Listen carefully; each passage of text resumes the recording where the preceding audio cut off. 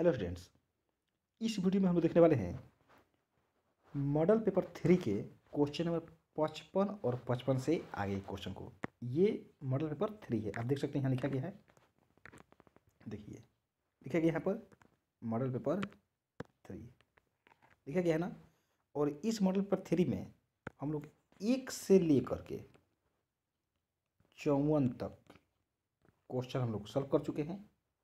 है ना? और इसके पहले model paper first and model paper second को भी हम लोग सॉल्व कर चुके हैं। इन सभी वीडियो का भी लिंक इस वीडियो के डिस्क्रिप्शन बॉक्स में दिया गया है। आप वहाँ से देख सकते हैं, है ना? और इस वीडियो में हम लोग देखेंगे आगे क्वेश्चन नंबर पचपन से लेकर के आगे के क्वेश्चन को देखेंगे, कहाँ तक आज खत्म होता है।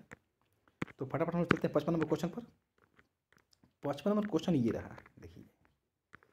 ये कह रहा है कि if such that A tends to B आच्छादन फलन होगा यदि आच्छादक होगा, है ना? कब? तो ध्यान देंगे। इसके लिए यहाँ पर जो हम लोग जानते हैं, ये देखिए। ये दो फलन हो गया। इसको हम लोग ए कह रहे हैं और इसको बी और ये कह रहा है ए से बी में, है ना? ठीक है? अब ध्यान देंगे, जो एफ़ ए मिलेगा ना, वो जैसे ये ए हो गया तो एफ़ ए का जो वैल्यू होगा, वह कहाँ मिलेगा? तो बी में मिलेगा। कहाँ मिलेगा? बी में। ठीक है? और एफ़ ए का जो जो वैल्यू आएगा, वह बी में ही बी में से ही होगा। ठीक है? अगर एफ़ ए का पूरा वैल्यू बी के बराबर हो जाए तो उसको कहते हैं हम लोग अच्छादक यानी कि एफ़ ए बराबर क्या आना चाहिए? बी आना चाहिए, है ना? तो यहाँ पर ये हो जाएगा ऑप्शन ये ठीक है? एफ़ ए बराबर क्या होगा? बी हो जाएगा। इसमें कहीं कोई दिक्कत नहीं होना चाहिए। चलिए, आगे बढ़ते हैं। लेकिन ध्यान देंगे स्टूडेंट्स अगर यही रहता अच्छादक यानी ये ऑनटू यानी सब्जेक्टिव अगर इसी की जगह सोचिए, होता अंतः छेपी क्या होता? अंतः छेपी यानी इन टू फ़ंक्शन तब क्या होता? तब जो होता, उस समय ऑप्शन ये ए होता। है ना? कब ए होता, लेकिन कब ये तब होता जब ये अच्छादक फलन नहीं होकर के क्या होता अंतः छेपी और ये दोनों में थोड़ा सा ध्यान देंगे। कभी बोर्ड एग्ज़ाम क्या करता है, इसी को चेंज कर देता है। अच्छादक की जगह अंतः छेपी कर देगा अंतः छेपी की जगह आच्छादक कर देगा, ऑप्शन वही दे देगा। तब दोनों को समझिए, ये इंपॉर्टेंट क्वेश्चन है आपके बोर्ड एग्ज़ाम के लिए। अच्छादक होगा तो एफ़ ए बराबर बी, और अगर अंतः छेपी होगा तो f A proper subset B ठीक है? चलिए। नेक्स्ट क्वेश्चन की तरफ़ बढ़ते हैं। अगला क्वेश्चन होगा क्वेश्चन नंबर छप्पन। छप्पन में क्या कह रहा है? साइन का power nine x d x minus pi by two से पाई बाई टू तो ध्यान दीजिए। जब भी लिमिट हो ना माइनस ए से a f x d x ठीक है? तो इसका वैल्यू ज़ीरो होता है। लेकिन कब? जो एफ़ एक्स हो, वह ऑड फ़ंक्शन हो। यानी कि एक्स की जगह अगर हम माइनस एक्स रख देना क्या रख दें? माइनस एक्स ठीक है? तो यह माइनस ऑफ़ एफ़ एक्स के बराबर आना चाहिए। है ना? अगर ऐसे होता है तो यह कहलाएगा ऑन टू फ़ंक्शन ये सॉरी क्या कहलाएगा? ये कि इस, इसका जो वैल्यू आएगा कितना आएगा? ज़ीरो आएगा। तो बच्चे करते हैं कि एफ़ एक्स का वैल्यू क्या दिया है? साइन का पावर नाइन एक्स साइन का पावर नाइन एक्स ठीक है? F minus x. तो क्या करेंगे? यहाँ कर सकते हैं साइन माइनस एक्स हो गया। इस पूरे का पावर कितना? इस पूरे का पावर नाइन। अब साइन माइनस एक्स हो जाएगा माइनस साइन एक्स। ठीक है? इसका पावर कितना? नाइन। तो ये क्या आएगा? माइनस साइन का पावर नाइन एक्स। माइनस का पावर नाइन तो माइनस और साइन का पावर नाइन एक्स। तो ये क्या आ गया? एफ़ माइनस एक्स बराबर माइनस और साइन पावर नाइन एक्स ये क्या है? एफ़ एक्स का वैल्यू है तो ये हो गया एफ़ एक्स आ गया। इसको हम लिख सकते हैं एफ़ एक्स बराबर माइनस एफ़ माइनस एक्स ठीक है? यहाँ से भी समझिए चाहे यहाँ से भी समझिए। ऑड फ़ंक्शन आ गया। तो जब ऑड फ़ंक्शन आ गया तो इसकी वैल्यू क्या आएगा? ज़ीरो और इसलिए जो ऑप्शन होगा, वो राइट ऑप्शन ये बी हो जाएगा। ठीक है ना? चलिए। अब आते हैं क्वेश्चन नंबर संतावन संतावन में क्या अगर हम लोग को वाई और एक्स का वैल्यू बताना है। तो देखिए, आप इसमें ना ऐसे मल्टीप्लाई जिस थोड़ा सा आपको चलिए विस्तार करके बताते हैं। दो, तीन छः एक्स हो जाएगा। दो चौके आठ हो जाएगा। दो पचास दस हो जाएगा। यहाँ पर क्या हो जाएगा? दो एक्स हो जाएगा? प्लस में कितना है? One y zero one. हो जाएगा ऐसे। बराबर में क्या है? सेवन ज़ीरो दस पाँच ठीक है? अब ये बताइए कि यहाँ से अगर हम छः ऐसे चलिए एक बार और जोड़ देते हैं छः एक साथ हो जाएगा। एट प्लस वाई हो जाएगा ऐसे, दस हो जाएगा, ये हो जाएगा टू एक्स प्लस वन। हो जाएगा ऐसे, फिर इधर क्या हो जाएगा? सात, ज़ीरो, दस, पाँच। हो जाएगा? आप देख रहे हैं कि eight plus y equal to कितना आ रहा है? ज़ीरो तो इसलिए वाई बराबर माइनस एट। ठीक ना? अब आप देखिए, आपको इसी से समझ में आ जाएगा, है ना, कि y बराबर माइनस एट कहाँ है? तो आप देखेंगे तो y बराबर माइनस एट ऑप्शन बी में है। तो क्लियर हो गया कि बी ही ऑप्शन होगा, क्योंकि केवल बी में ही है y बराबर माइनस एट समझ में आया? वैसे अगर आप चाहें तो आप यहाँ से x का भी वैल्यू निकाल सकते हैं। ये क्या दिया है? Two x plus one equal to five तो टू एक्स बराबर फोर इसलिए एक्स बराबर कितना? टू तो देखिए यहाँ पर एक्स बराबर टू ही आया है। तो ऑप्शन कौन सा हुआ ये बी ऑप्शन हो जाएगा। जो अंठावन नंबर है, अगर लिमिट हटा दीजिए तो ये फॉर्मूला ही है टेन इनवर्स एक्स का। टेन इनवर्स एक्स लिमिट कितना है? ज़ीरो से वन। तो पुट करेंगे तो आएगा tan inverse one minus tan inverse zero. ठीक है? टेन इनवर्स वन की जगह क्या लिखेंगे? Tan pi by four value होता है minus tan inverse tan zero degree क्योंकि टेन ज़ीरो का वैल्यू ज़ीरो होता है। और यहाँ पर फॉर्मूला यूज़ होगा टेन इनवर्स टेन एक्स बराबर एक्स तो क्या आएगा? Pi by four minus zero यानी कितना? पाई बाई फोर तो ऑप्शन कौन सा हो जाएगा यहाँ से? जो ऑप्शन आएगा होगा ये बी ऑप्शन अब देखिए, अवकल समीकरण इतना का समाकलन गुणांक क्या होगा? तो समाकलन गुणांक मतलब कि इंटीग्रेटिंग फैक्टर तो एक फॉर्म एक फॉर्म होता है D Y by D X plus P Y equal to Q इसमें जो पी है, अगर आप देखेंगे तो इसके स्थान पर क्या है? सेक एक्स है। तो फॉर्म होता है ई का पावर पी डी एक्स समाकलन गुणांक। तो ई के power sec X D X हो जाएगा ऐसे। और सेक एक्स का इंटीग्रेशन क्या होता है? इसका होता है log sec X plus tan X log sec X plus tan X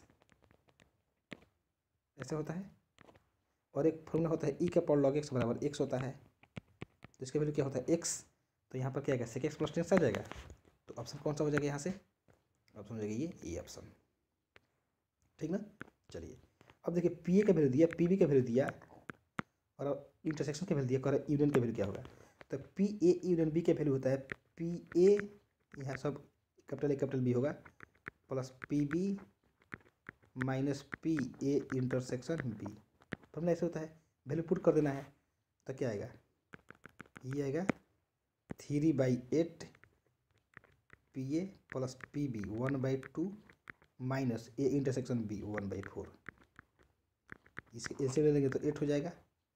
कितना आएगा? Three plus four minus two.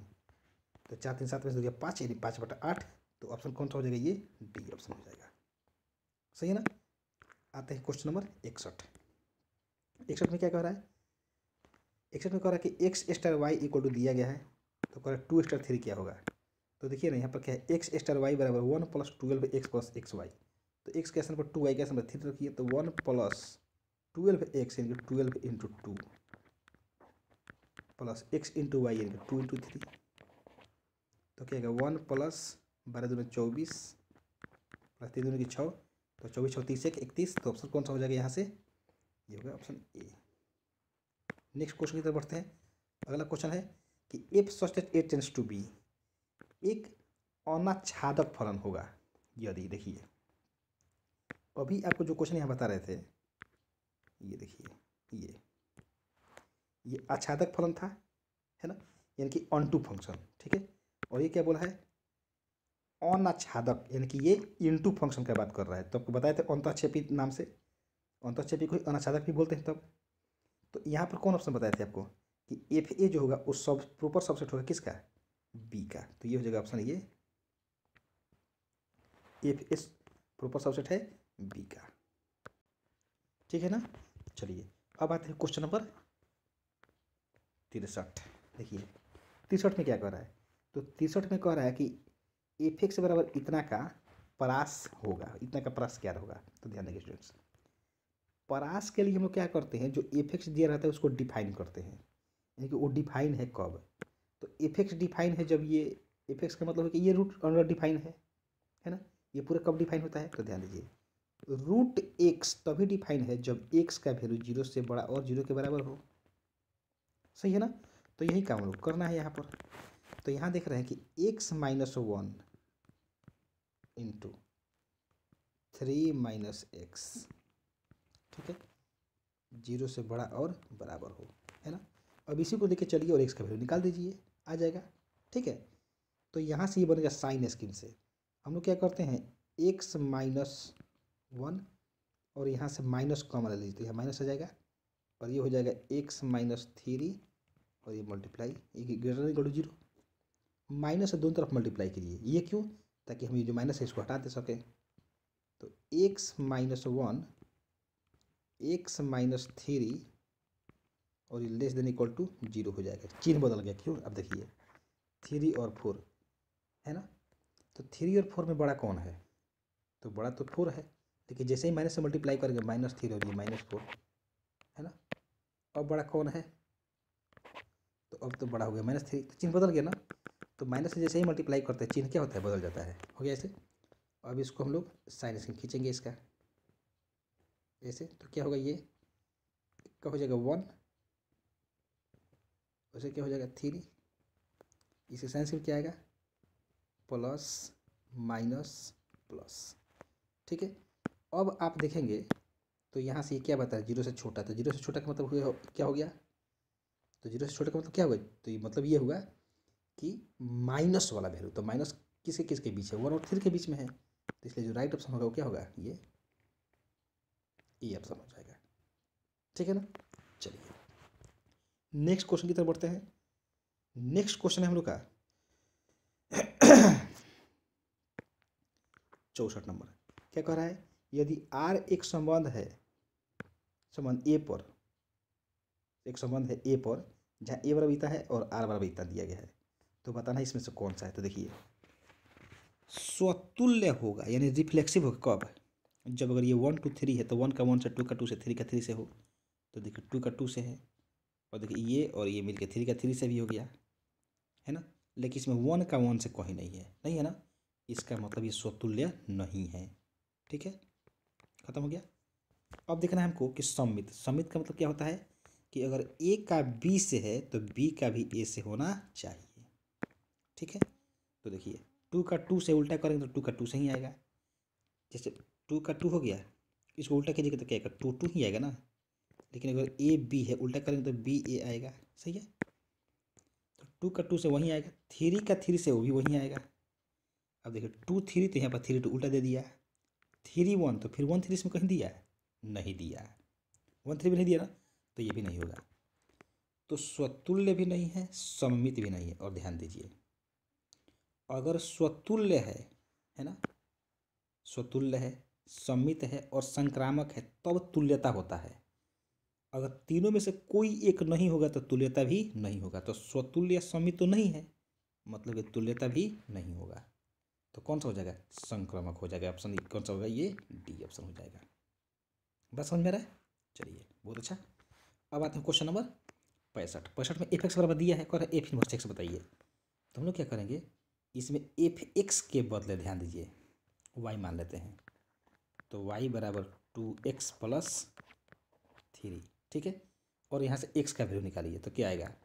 Y minus two Y minus two बराबर थ्री ना होगा। वाई माइनस थ्री बराबर टू एक्स तो इसलिए एक्स बराबर क्या आएगा? Y minus three by two ऐसी वाई की जगह एक्स रख के आंसर मैच करा लीजिए तो क्या हो जाएगा? X minus three by two तो होगी ऑप्शन बी सही है?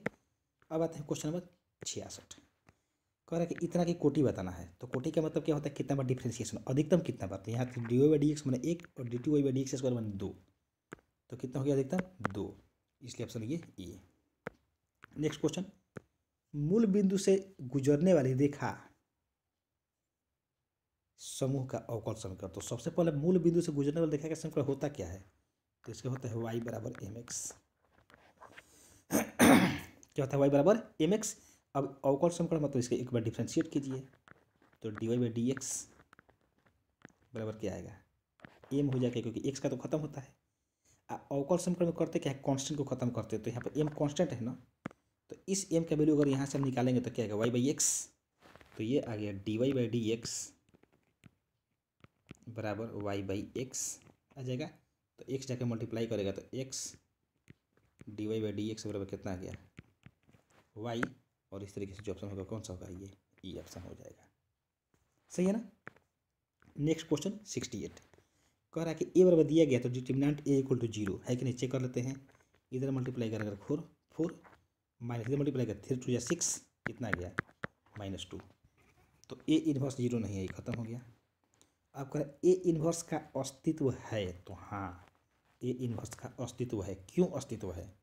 वो इसलिए अस्तित्व है क्योंकि डिटर्मिनेंट ए का वैल्यू ज़ीरो नहीं आया है, इसलिए ए इन्वर्स का अस्तित्व है। तो ऑप्शन कौन सा हो जाएगा यहाँ से? ऑप्शन हो जाएगा ये बी ऑप्शन सही है? चलिए नेक्स्ट क्वेश्चन की तरफ़ बढ़ते हैं। सिक्सटी नाइन देखिए sec inverse this plus sine inverse this हम लोग फॉर्मूला जानते हैं sec inverse X plus cosec inverse X ये। Sec inverse X plus cosec inverse X बराबर पाई बाई टू, ये भी जानते हैं। या sine inverse X plus cos inverse X बराबर पाई बाई टू। तो कुछ इसी पर हम लोग चेंज करेंगे। सही है ना? साइन का उल्टा क्या होता है? कौशिक, है ना? तो ये देखिए, जैसे ही हम लिखेंगे, ये हो ये हो जाएगा। तो ये तो सेक इन्वर्स है ही। Root X plus one by root X minus one अब ये साइन है, साइन का उल्टा क्या होता है? कौशिक तो ये हो जाएगा कौशिक इन्वर्स। अब जो एंगल में है ना ये ये भी उल्टा हो जाएगा, यानी कि नीचे वाला ऊपर ऊपर वाला नीचे। तो ये हो जाएगा रूट एक्स प्लस वन बटा रूट एक्स माइनस वन। हो जाएगा? अब बताइए कि सेक इन्वर्स के जो एंगल में है, वही कौशिक इन्वर्स के एंगल में है? है। तो इसका वैल्यू क्या आएगा? पाई बाई टू हो गया? अब क्या पूछ रहा है? तो वाई का वैल्यू कितना आ गया? पाई बाई टू है D Y by D X क्या हो गया? था जब इसको डिफ्रेंशिएट करेंगे तो ये कॉन्सेप्ट है कॉन्सेप्ट का डिफ्रेंशिएशन क्या होता है? ज़ीरो तो इसलिए जो राइट ऑप्शन हो जाएगा हो जाएगा ऑप्शन ये डी कौन सा ऑप्शन डी ऑप्शन चलिए। नेक्स्ट क्वेश्चन क्या कहता है कि वाई बराबर इतना तो वक्र के बिंदु वन का वन पर अविलंब की ढाल। तो अविलंब की ढाल कैसे निकालते हैं? इसको जो दिया रहता है उसको डिफ्रेंशिएट कर देते हैं। डिफ्रेंशिएट करेंगे तो क्या आएगा? टू एक्स प्लस थ्री हो जाएगा। हो जाएगा ना? अब इसमें वन का वन पुट कर दीजिए। तो इसमें कहीं पर भी वाई है? नहीं है। तो एक्स का वैल्यू वन है वाई का वैल्यू वन है। तो एक्स का वैल्यू वन पुट कर दीजिए, क्या आएगा? Two into one plus three five आ गया। जो ये फाइव आया, ये आया स्पर्श रेखा की ढाल या प्रवरता किसका? स्पर्श रेखा का। लेकिन इसको एक बाटा पाँच कर देंगे, यानी कि उल्टा कर देंगे और चिन्ह बदल देंगे। तो ये जो आएगा, ये हो जाएगा अभिलंब की ढाल या प्रवरता और इसलिए ऑप्शन हो जाएगा ये बी सही है ना? अब आते हैं क्वेश्चन नंबर इकहत्तर पर। तो देखिएगा क्वेश्चन नंबर इकहत्तर क्या कह रहा है? ये कह रहा है कि sec of tan inverse X इसका बताना है। का डिफ्रेंशिएशन करना है। तो पहले हम क्या करेंगे? सेक का करेंगे, फिर करेंगे टेन इनवर्स एक्स का। तो सेक का डिफ्रेंशिएशन क्या होता है? सेक का होता है sec X into tan X यानी कि sec of tan inverse X हो जाएगा इंटू सेक एक्स एक्स के स्थान पर टेन इनवर्स एक्स है तो sec X into tan X tan X बोले तो tan of tan inverse X हो जाएगा। आज जब टेन इनवर्स एक्स करेंगे तो इसका होता है एक बटा तो एक तो गुणा करेगा तो यही हो जाएगा, बटा में क्या आ जाएगा? One plus X X square इतना तो समझ में आ रहा है? इसमें कहीं कोई दिक्कत नहीं, चलिए। अब ये बताइए, हम लोग यहाँ से क्या करेंगे कि tan of tan inverse X का वैल्यू क्या होता है? एक्स क्या होता है? एक्स तो यहाँ से क्या होगा? यहाँ से हो जाएगा, इसके जगह क्या बचेगा? एक्स तो इसका मतलब ये हो जाएगा कि सेक यहाँ देखिए sec of tan inverse X by into में तो एक्स रहेगा इंटू में एक्स रहेगा बटा कितना? One plus X X square ये आ गया। अब यहाँ से हम लोग को यहाँ पर देखिए sec of tan inverse X है, जो कि फॉर्मूला होता है sec of sec inverse X है ना? तो जो ये टेन इन्वर्स दिया ना एक्स इसी को हम चेंज करेंगे सेक इन्वर्स में। तो जैसे ही सेक में चेंज करेंगे, ये हो जाएगा sec of sec inverse X तो ये हो जाएगा sec inverse root under one plus X square हो जाएगा, है ना? ये हो जाएगा ऐसे। ठीक है। और बटा में कितना? One plus X square. समझ में आ रहा है? जब इसका, यहाँ पर हम फॉर्मूला यूज़ करेंगे तो ये होगा X into sec of sec inverse X क्या होता है? एक्स यानी कि root under one plus X square बटा में क्या है? One plus X square. सही ना? अब ये बताइए कि जब ये इसको काटेगा तो नीचे तो रूट में बच जाएगा, ये इसको काट देगा। तो नीचे रूट बचेगा ना वन प्लस एक्स स्क्वायर? के ऊपर रूट में है, नीचे बिना रूट के है। तो एक रूट से काटेगा तो एक रूट बचेगा। तो क्या गया एक से बटा root under one plus X square और ये जो ऑप्शन हो जाएगा, ये हो जाएगा ऑप्शन कौन सा? ए ऑप्शन हो जाएगा, ये ए ऑप्शन सही है? चलिए नेक्स्ट क्वेश्चन नेक्स्ट क्वेश्चन कह रहा है कि यदि इतना एक समतल का समीकरण हो तो दिए गए समतल के समांतर समतल का समीकरण, ध्यान दीजिए स्टूडेंट्स अगर कोई एक प्लेन का इक्वेशन हो और उसके पार्लल यानी समांतर दूसरे प्लेन का इक्वेशन पूछा जाए तो केवल कांस्टेंट ही चेंज होता है। तो इसमें देखिए two X plus five Y minus six Z यही ना है ये? तो किसमें है? Two X plus five Y minus six Z केवल ये है, केवल सी में है ऐसा। केवल ये जो के है थ्री है, इसी के असल में क्या है? के कोई ज़रूर नहीं कि के ही देगा, उसकी जगह सौ दे सकता है, दो हज़ार बाईस दे सकता है, दस दे सकता है, कुछ भी नया दे देगा, है ना? ये सेम रखेगा केवल इस थ्री की जगह चेंज करके कुछ भी दे देगा। सही है? चलिए। अब आते हैं क्वेश्चन नंबर तिहत्तर। पी ए दिया पी बी दिया इंटरसेक्शन दिया पी ए बाई पी आपसे पूछ रहा है। तो पी ए बाई बी का वैल्यू क्या होता है?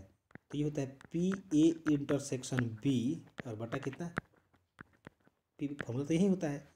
तो पी ए इंटरसेक्शन बी का वैल्यू कितना है? वन बाई फाइव है ऐसा?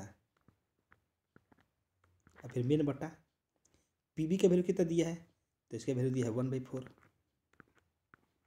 one by four दिया। जब इसको सॉल्व करेंगे तो क्या आएगा? फोर बाई फाइव और ये हो जाएगा ऑप्शन डी नेक्स्ट चौहत्तर। चौहत्तर में देखिए। इसको सॉल्व करना है। तो इसको जब सॉल्व करेंगे तो थोड़ा सा यहाँ से ध्यान दीजिए। हम इसको लिख सकते हैं D Y by D X बराबर। ये वन प्लस एक्स है तो वन प्लस एक्स रहने दीजिए, है ना? प्लस, यहाँ से क्या करते हैं? वाई कमा लेते हैं। तो यहाँ से आएगा वन प्लस एक्स। आएगा ऐसे? तो ये हो जाएगा D Y by D X बराबर। दोनों में से वन प्लस एक्स कमा लेते हैं। ठीक है? तो क्या बचेगा? वन प्लस वाई बचेगा। सही है? अब डी वाई के बटा में ला सकते हैं। यहाँ से देखिए ये। डी वाई के बटा में वन प्लस वाई बराबर। इधर क्या कर सकते हैं? वन प्लस एक्स और ये कर देंगे डी एक्स कर देंगे। अब क्या करते हैं यहीं से दोनों तरफ़ इंटीग्रेशन कर देंगे। तो इधर तो आ जाएगा लॉग वन प्लस वाई बराबर। इधर क्या हो जाएगा? वन का तो X plus X X square by two plus integrating constant के। अब आप ऑप्शन मैच कराएँगे तो ये आएगा ऑप्शन बी आएगा आ रहा है ऐसे। सही है ना? चलिए नेक्स्ट क्वेश्चन की तरफ़ बढ़ते हैं। नेक्स्ट क्वेश्चन है वेक्टर ए दिया है वेक्टर बी दिया है, कह रहा है ए डॉट बी बताइए। तो ए डॉट बी कैसे निकालते हैं? आई वाले में आई वाले से गुणा तो आई यहाँ पर दो है, यहाँ पर चार है, मान आई का गुणांक। तो दो चौके कितना हो जाएगा? आठ। फिर यहाँ पर माइनस पाँच और ये दो। तो माइनस दस। यहाँ पर एक और यहाँ पर एक तो एक। तो नौ माइनस दस बराबर क्या आएगा? माइनस एक।